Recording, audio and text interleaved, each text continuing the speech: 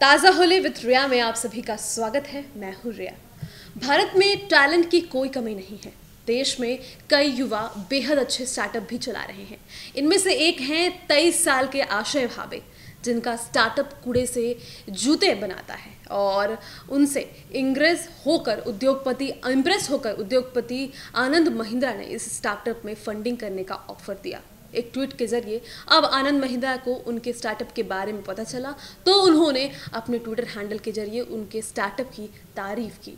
उन्होंने ट्वीट करके कहा कि उन्हें शर्मिंदगी है कि वे इस प्रेरणादायक स्टार्टअप के बारे में नहीं जानते थे। उन्होंने कहा कि ये उस तरह के स्टार्टअप्स हैं जिनके लिए हमें प्रोत्साहन देना चाहिए, जिनको हमें आगे बढ़ाना चाहिए, केवल बड़े यूनिफॉर्म को नहीं। उन्होंने कहा कि वे एक जोड़ी जूते खरीदने वाले हैं। क्या कोई उन्हें इन्हें लेने का सबसे बेहतर तरीका बता सकता है। इसके साथ उन्होंने कहा कि और जब वे फंड जुटाते हैं तो उन्हें भी शामिल कर लिया जाए।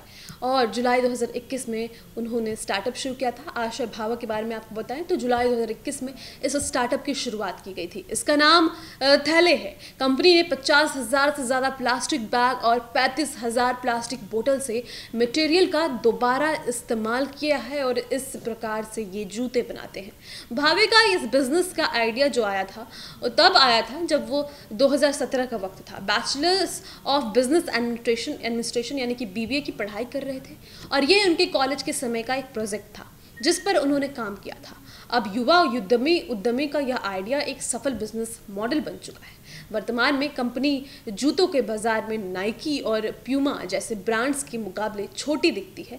लेकिन कंपनी की जल्द कंपनी जल्द ही यूरोप और अमेरिका के बाज़ारों में अपने प्रोडक्ट्स को बेचने की बड़ी योजना में है। आनंद महिंद्रा ने भी सपोर्ट किया है फंड देने की बात भी कही है। कॉलेज में प्रोजेक्ट के तौर पर उन्हें यह आइडिया आया था।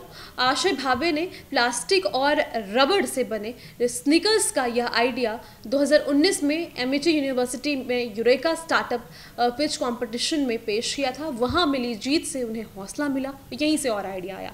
इससे भावे को प्रोटोटाइप पर काम करने के लिए भी फंडिंग मिलने में मदद हुई।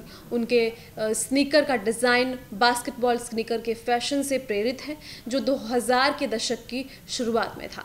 और आशिक का स्टार्टअप बेस्ट मैनेजमेंट कंपनी से कच्चा माल खरीदता है। प्लास्टिक बैग गर्मी और प्रेशर की मदद से एक फैब्रिक में बदल ले जाते हैं और जिन्हें थैलीटेक्स कहते हैं फैब्रिक को शू के पैटर्न में काटा जाता है और प्लास्टिक बोतलों को एक फैब्रिक के तौर पर रिसाइकल किया जाता है, जिसे आरपेट कहते हैं। और इसे लाइनिंग शूलेस पैकेजिंग और दूसरे भागों के लिए इस्तेमाल किया जाता है।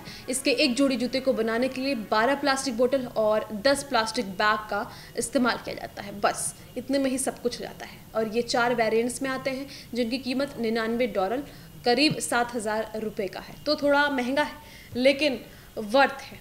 फ़िलहाल इस वीडियो में इतना ही, और भी खबरों के लिए न्यूज़ प्यार के साथ बने रहें। लगातार ऐसी कहानियाँ आपको सुनाते रहेंगे। धन्यवाद।